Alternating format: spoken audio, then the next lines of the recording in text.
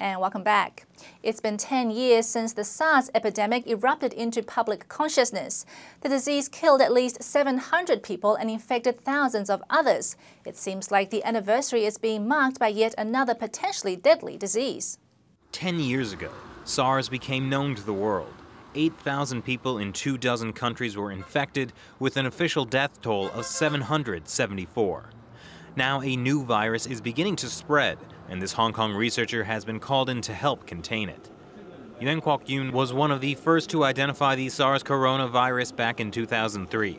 As have been demonstrated for in the case of SARS, the virus actually mutates very rapidly. Within actually a few months, the, the virus changed very rapidly and can adapt uh, to very different situations in terms of animal host and in terms of transmissibility. So I think it is very important that we should be vigilant but not worrying or panicking. That is not going to help.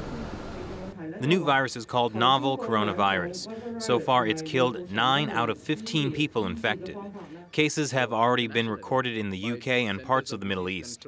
And as with SARS, the concern is that in a modern world connected by international travel and business, it could spread fast. Professor Kwok Yung goes through samples of the virus. It comes from the same family as SARS and the common cold.